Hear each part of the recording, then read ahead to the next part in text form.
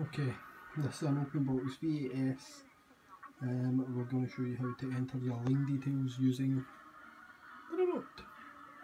Easy enough and it's quite simple for everybody to do. When I say menu it's this button, exit this button, OK, arrows, colours, numbers, power. But it's all pretty simple. Um, I'll just point at the TV and I'll speak as we're doing it. So menu and then you press the right arrow. One, two, three, four, five times. Local network local settings.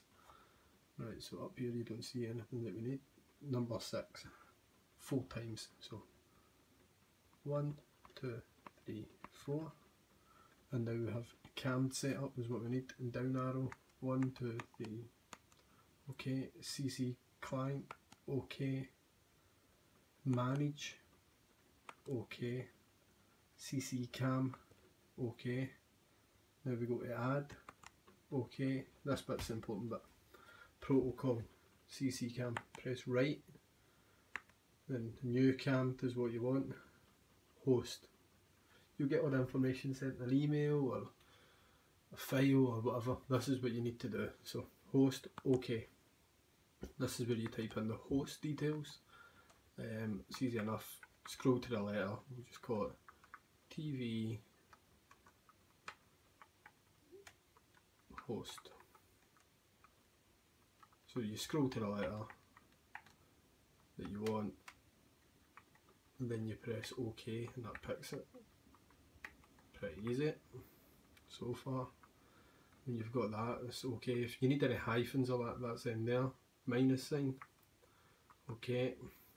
Port, you can just type this in using the remote. So 4, 1, 1, 1, 4, maybe 3, 0, 0, 0, 1, 2, 0, 0, 0, whatever it is. You just type that in.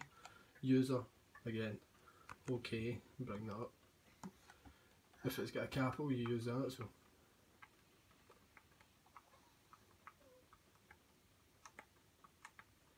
if there's any numbers or whatever you just use. And then we go to password. If there's again if there's caps, make sure you put them in the right place. You know, some people send out details that look like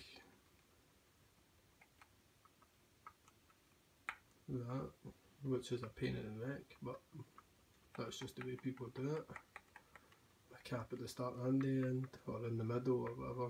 Again you need any hyphens or anything. In there okay. This bit 0 1 2 3 4 all the way to 14 you leave that.